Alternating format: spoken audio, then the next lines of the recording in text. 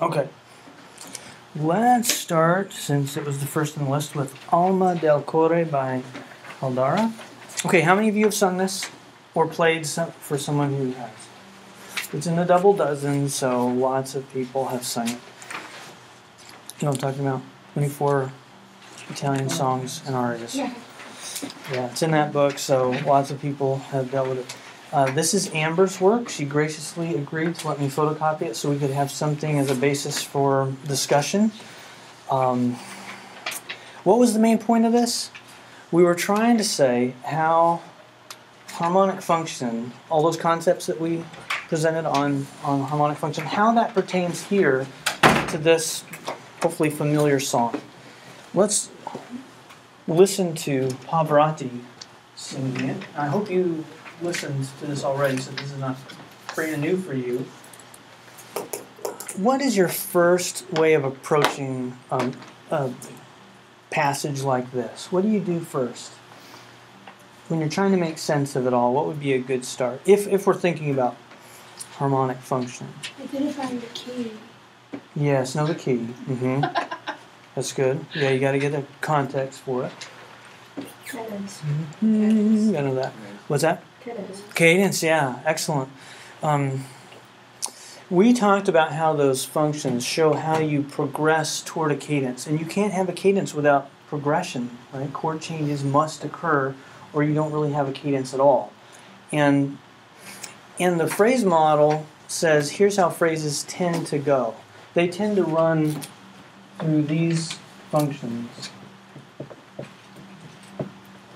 Some of them might be elaborated, they might be prolonged, but that's progression, and we expect that to play out over the course of a phrase. There's a wrinkle here. See the functions in parentheses?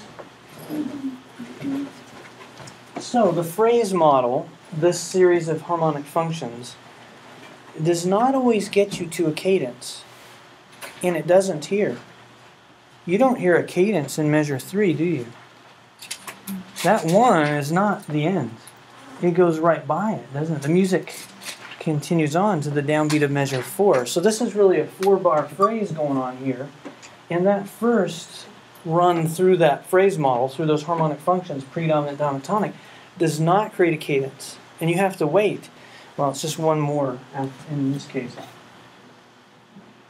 The phrase model says end on tonic, but we're ending on the dominant.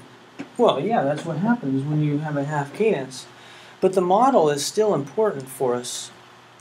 In fact, the absence of a final tonic here is really important as a, as a resource for composition. You understand what I mean by that? How is this useful to have this idea as a backdrop for the music? Do we appreciate this in a special way because we don't get the tonic? It's normal to want it to resolve and to have it actually eventually get to the tonic, right? So, what special significance does this have? What's the effect? It keeps it moving. Mm-hmm. It's like you know the cliffhanger, Whoa, and you never oh get there. You know, You're, you just you want you want closure, and so you deny it in order to give it later. And you see how that happens later? Mm-hmm. These phrases, you said there are two of them, combine into something bigger, which we're going to talk a little bit about today. Because phrase structure, remember what Rothstein said about phrase structure? It's hierarchical. That means there are levels of it. Some are inclusive and include smaller chunks. So these smaller things group together to form something bigger. These are phrases. What's this? The big, the whole excerpt. What is that? A period. Yes. So phrases combine to form periods because you're able to play with our expectations and deny closure and then deliver it later. Just think how many movies would just be so lame if they didn't have these these scenes where there was no resolution and you want to know what's going to happen next. So or if it's a series, you're going to come back next week, right? And they want you to come back because they got ads to show you. come on. How are they going to pay their bills? This is important. Yeah, so they want to leave you on the cliff's edge so that then they can come back next week and have you watch again and then find, the season actually even a season end does not usually end, right? Then they make it an even bigger. Okay, so that's not the best example, but a lot of movies will end with some closure at the end, and that that is just so much a part of art in general to leave some unanswered question, so that then we pick up with it and provide the conclusion, and then the conclusion matters because you couldn't get it, right? The crisis in the movie, the thing that isn't resolved, like the dominant and then oh you get it later. Isn't that what a lot of art is about? Not all by any stretch but that's one sort of thing that art does. Set an expectation and create tension by not delivering. You want everything denouement right? You want it all settled. You want them married or whatever. And you keep on having issues that they can't get married the whole movie and finally they are. Okay here's the marriage right here. Ah there we go. Okay so this little feint at closure here is not closure for several reasons. Let's talk about why this, even though its progression does not end anything. It's in the middle of something, not the end. Why is that? Why is that tonic in measure three not that arrival that we desire? Because, well, I mean, it's it's obviously serving a different function because it's not cadential. It doesn't have. Mm-hmm. It's, it is not part of the cadence for the phrase. Mm-hmm. So Why isn't it though? Can you look at some? What about its sound just doesn't? Why is it just not ending? The melody's not done. Good. Melodic activity, the rhythmic energy is not dispelled. It just keeps pushing forward. That's important. The. Gwen, you mentioned that earlier, right? Was that you? Or was that you, Amber? Probably which, I don't know. I don't know. One, I know we one of you guys were talking with me about this earlier and said, yeah, how the mel- the melodic activity keeps the ball rolling, so to speak. And then The bass is also it's a one six chord, so there's not really any finality to it. Oh wait, now there is a one six in. Put a six on that second one. The one in measure two, that is a one six. But the one in measure three is a root position one. Yes. Oh, I'm sorry. I was talking about the second measure. Oh, I thought, I thought okay. that's what we were talking. I'm sorry. I must Well, have been that- confused. the melody sort of the melody escapes to a different a non-chord tone. It goes well. It, it goes to a non-chord tone. Mm-hmm. Yeah, that's part like of we that all activity. talked about the melody not being conclusive. That's kind of why. Mm-hmm. pretty Yeah, much. If you're only looking at that one beat, I mean, obviously there's a right. couple more beats to the melody. Mm-hmm. Mm, that's true.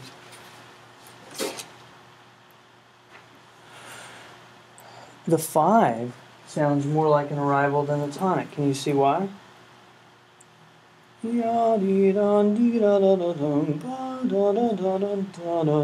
You go for it. but you don't go for. I mean, it just doesn't do it, right? What's wrong? B3. Good. So metrical placement, melodic activity. And metrical placement. And if we're talking about avoiding enclosure, that means putting it in a weak or on a weak beat.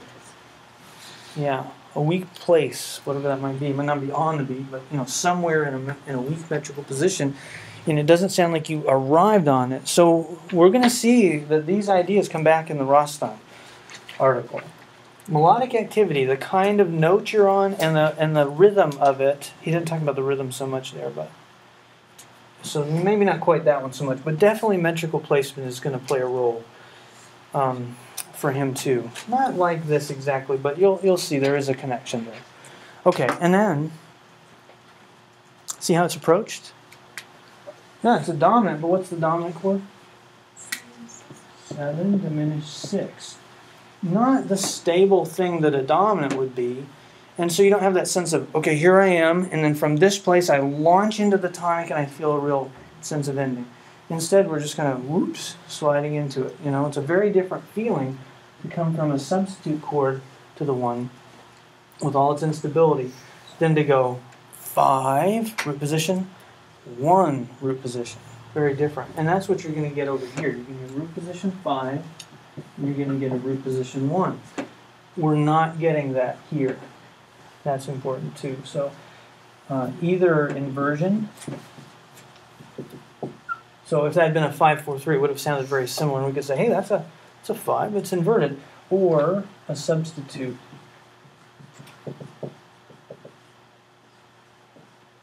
For, for, for whatever function it might be.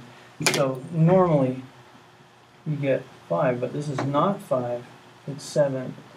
Or if we had a situation, this doesn't happen here, but another instance would be not one, but three. So not the primary chord that you expect, but a substitute for it will usually keep the ball rolling.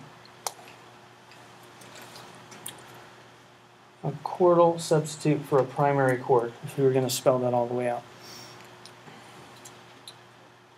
Good. Now, one more thing about this. It's like this is grammatically correct, but it's not done. It doesn't form a full sentence. I like to use um, two sentences together to make this point. Elvis has left the building.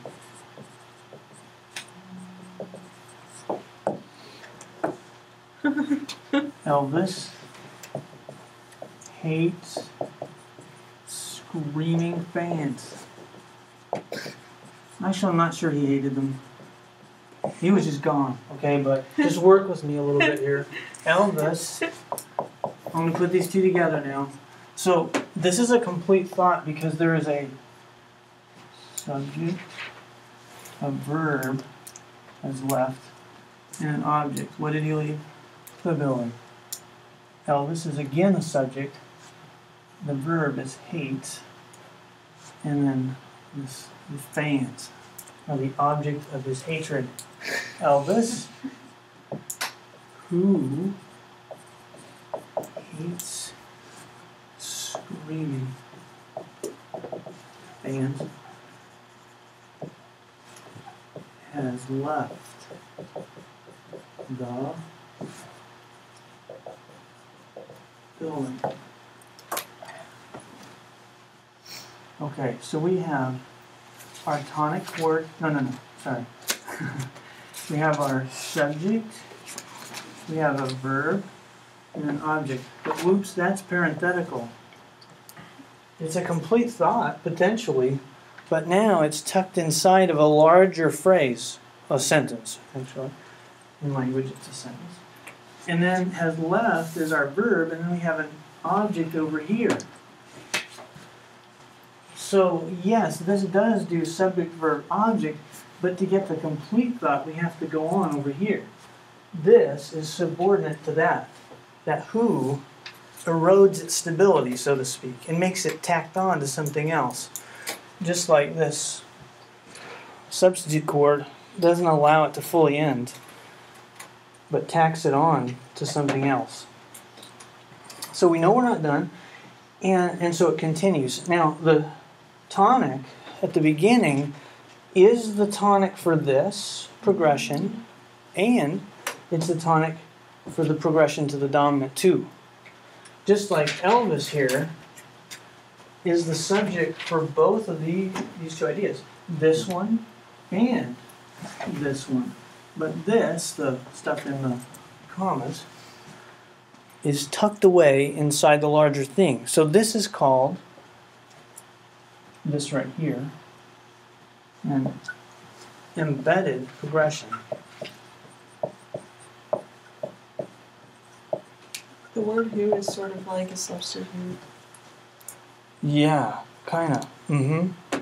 Not that every single sentence structured that way would have the exact If. I could do like hating, Elvis hating those screaming fans, then it would be more like that, wouldn't it? Because then it'd be the word, one of the essential words, altered to make sure that you need it. That's a cool idea. That'd be even better analogy with the, the musical situation.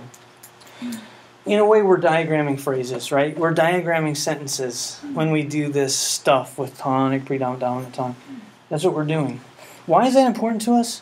Well, actually, when you're learning a new language, like when I was learning German, that was really useful to know the grammar.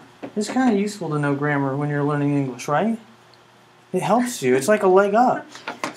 You know what? This common practice music probably isn't your native language exactly. It's just one option on your palette of sounds. In fact, if you listen to the blues, what do the, what do the 12 bar blues do? 12 bar blues. They're not going to do common practice stuff. It goes to four, it goes to right back to one. And then you go to five, but that five goes where? Four. And then back to one. Whoa, wait a minute here. Is that grammatically correct? In its language, it is a-okay. Okay, this is this is like Chinese, all right? It works in Chinese. That's good, but you don't do that in Swahili or whatever it is over there. it's a different language. They're different languages, and they work in different ways. So if you're trying to get in the groove of how this language works, you better know how the grammar works. But does a composer need to be aware of that? No, they're speaking their language. Just like when you when you speak, you don't go, okay now, got my subject, good, okay, verb. You know, you don't do that, do you? You're thinking about what you're trying to express and you're not worried about all those mechanics. They're part of you. You've internalized them and they're somewhere tucked away in your brain. You know, it's there. And so you don't have to be aware of those things until you're maybe learning that other language, and then you can use it to help you. But a native speaker isn't going to need that, right? So, another way it's in, it's useful to us is that once we, once it's something that we're explicitly aware of, not something like um, you know there are different kinds of decisions. Uh, like when you're driving, should I turn here? Yeah, you know, so that kind of decision making is a decision that you make. But when some little squirrel runs out in the road and you want to stop, you know, you hit the brake and you don't go, I would like to stop now. I and go, you know, you know, it's not, it's not a, it's a decision, but it's a decision in a different way, right? So, if if you speak Swahili here, if you speak this language, common practice, you're just slamming on the brakes right here on the dominant, and you didn't have to think about it. You just, it's a knee jerk reaction. It's conditioned response. You do this. You speak your language. But if you're trying to get funky and do something else, you might say, hey, I want to do, I want to draw from this other language. I'm going to do something else. Or like, you remember Plagal functions? Well, if you realize, hey, that's a lesser used option, and as a composer, you decide to use it and exploit it to make it sound new and different and less cliched and less um, less classical, right? You want to sound romantic. You want to sound free from conventions and all that. And this is a little overused. Okay, well, let me use a Plagal kind of motion at the end. And now you got something you can work with that fits your aesthetic. Okay, so sometimes it is good to be aware of it. Now, when you're aware of it too, and you realize that somebody's playing with it, playing with the syntax, and saying, I want I want the Plagal thing here. I want to go a different route. Then you can appreciate it. You see what I mean? You're aware of that decision. You go, now that was a decision. That was a choice, one of those conscious sorts, and it's significant to me. I understand what the composer is doing. Or maybe a deceptive motion. Maybe you just sort of it blew by you and you didn't really realize it. But once somebody says, hey, that's a deceptive motion, that's a dominant going to a tonic substitute, like a six or a funky other chord that isn't tonic, uh, isn't one, but is serving a tonic function. You know, maybe it goes unexpectedly to flat six, or seven diminished seven to five, or something else that allows the leading tone to resolve, but is not the one chord that you expected. That deceptive motion then it takes on a special weight for you, uh, a special meaning for you, because you know what should have been, should have, in quotation marks. And you can appreciate what actually happens better because you know that. See what I mean by that? So you are better equipped to say and articulate what decisions the composer made and why they're expressive and why they're meaningful to you because you're aware of the language and the way it works. And that's a good thing. Okay. I think we better leave that one. There's one other issue that I want to deal with. Um, Amber took one option, which is just fine, but there's another way. If you look in the second, uh, it's really measure five. So let me put it over here.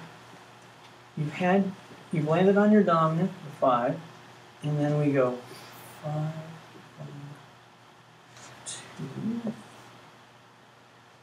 Let me put some sharps so I don't have to write them everywhere. Okay.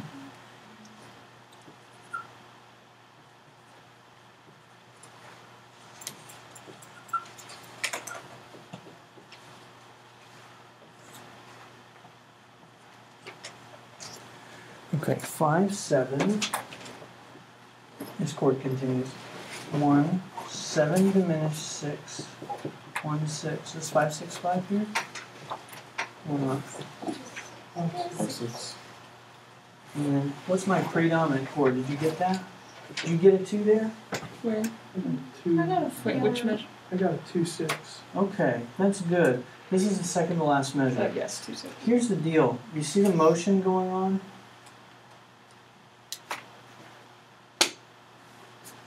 When you've got when you've got dissonant notes, and this is going to be the focus of our next analysis, but when you have dissonant notes and they move before the bass note does, you should seriously consider using figures to express those notes, to show them, instead of making them into a chord. So it is possible to write four seven there, and then show it moving to a two six. But what we're trying to do is be sparing in our use of Roman numerals. Don't use so many, and instead show the expressiveness of suspensions and retardations. Which of these is a retardation? Five to six. Sort of. What's kind of tricky about that is that it's a consonant one, and usually we mean distant. So I'm really looking at the sevens here. Seven to eight. Seven to eight, yeah. And this one, seven to six is suspension. Because retardations, they're trying to advance to the next level, but they're held back. Yeah, they're trying to go up, but suspensions go down. Okay, so retardation, suspension. When there's motion, you find the chord by looking here, the end of beat one, not on the downbeat. Because you know the suspension and the retardation are non chord tones. You're embellishing the real notes, and the real notes emerge. So look at the eight and the six above the bass and say, those are the chord tones, not the downbeat notes.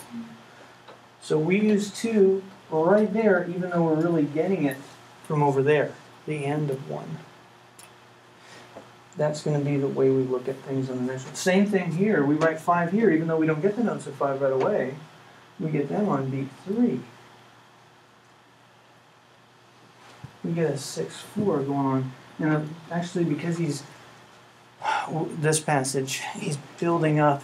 He doesn't want to end there. Actually, the piano is building up to go somewhere else, so he breaks all the voice leading rules and instead moves up. Let's see how. Where's the six? Does it literally go up? G. Yeah, it goes up. So um, it becomes an octave, and the fourth becomes a fifth, right? Yeah, and that's for a reason. That's really weird, but it's because he's trying to go see the crescendo and the rising line in the piano. It's going and it's going to break out in the next section, and so he's being unruly so that it can come crashing in on top of everything, stick out at you, take over from the voice. Okay, so um, again, though, we look past the dissonance and we go over here and say, okay, we're going to call it a five because what happens on beat three, not because what happens on beat two. Whenever you get the fourth or the seventh or the ninth, think like that. get past the dissonance, and be aware that it's very expressive in the way that it moves. And it, it really is expressive. It's wonderful. So.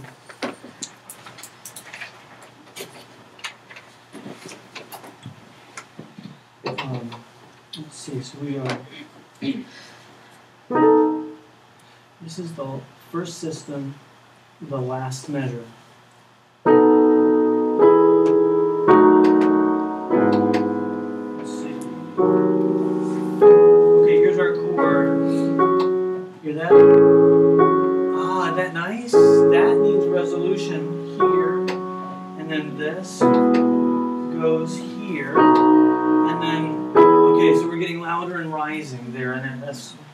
But I'm really trying to focus on how expressive that is, right? Now, if this were really a quarter seventh in a four seven, it would need to resolve down, wouldn't it?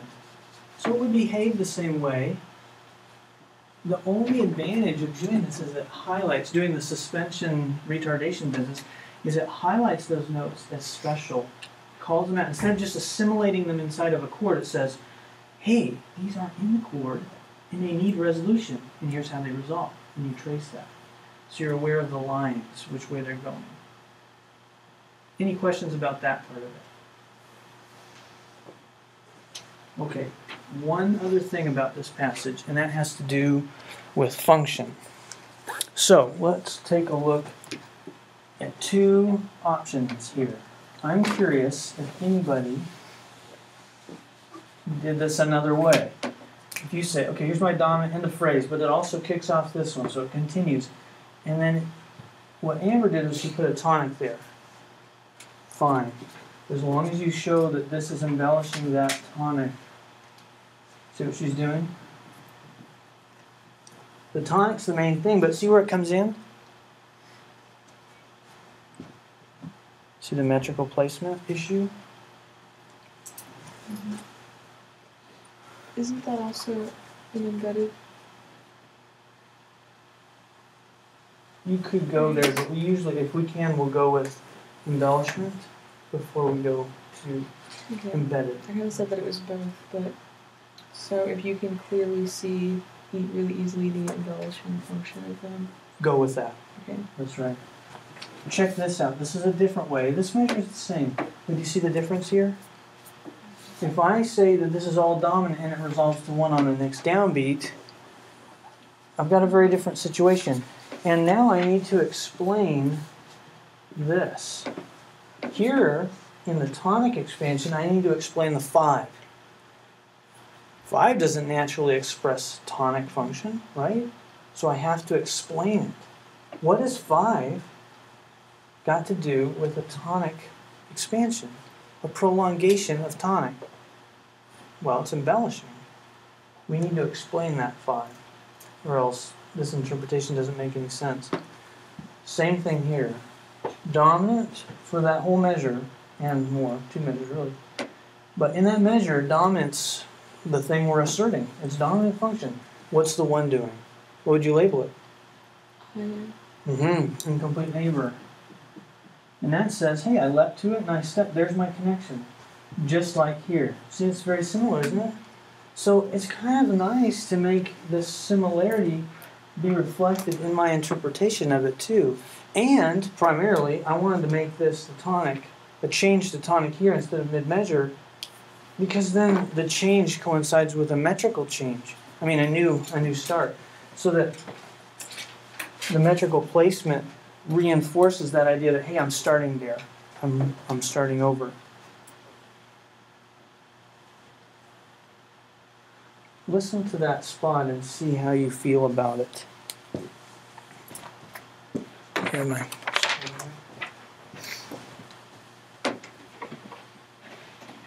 Okay. So from sempre, that's the same spot I started from before.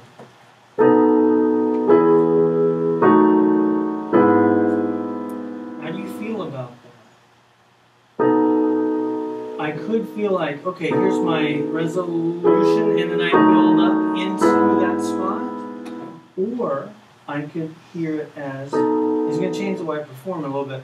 on here is primarily dominant with some passing motion, and now the real change comes here. You see how that works? Now without me doing so much rubato.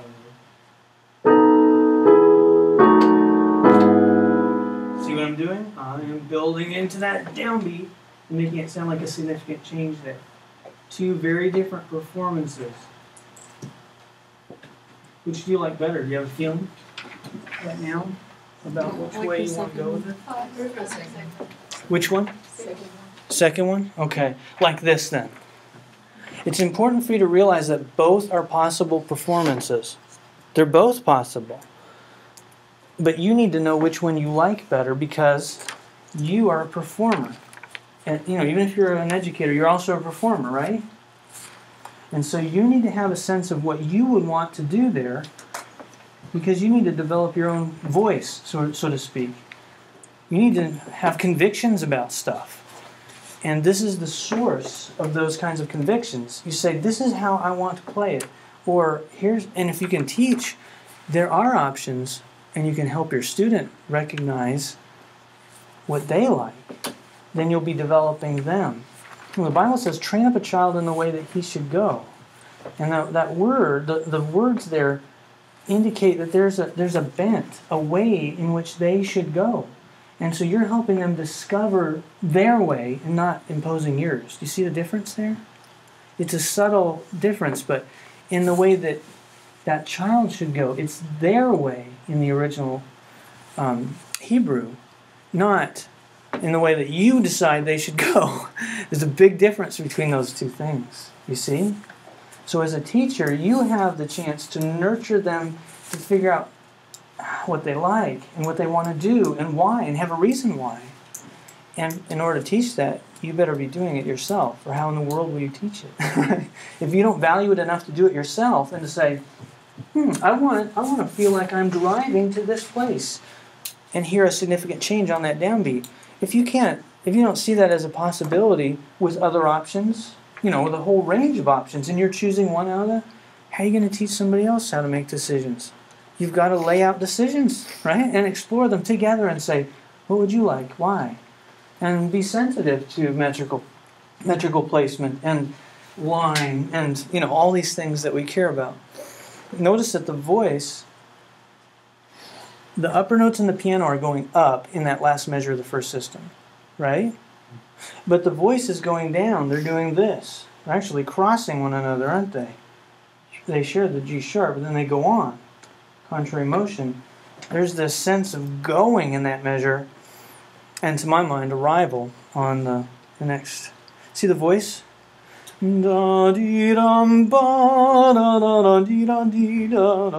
You see how that works? It rises and it falls. So it works, to my mind, it works really well with the melody because it turns at that point point and descends. That this should be the most significant change and not this.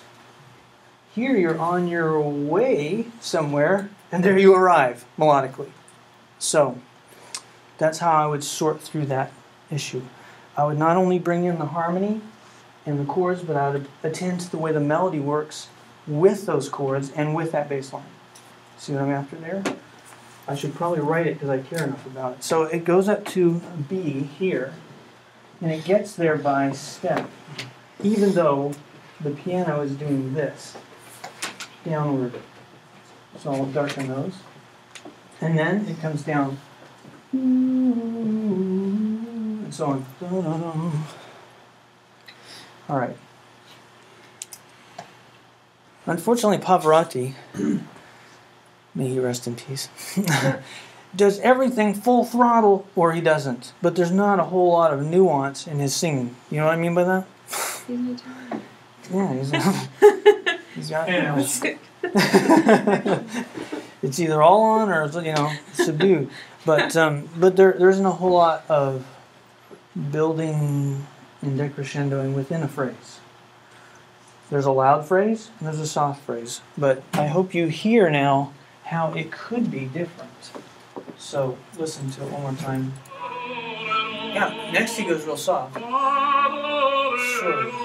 But he changes his tone quality. But that doesn't happen within the phrase. You see what I mean? it's all kind of all right up here, and I'm really intense the whole way, and then okay, now I'm not, you know. but it's not.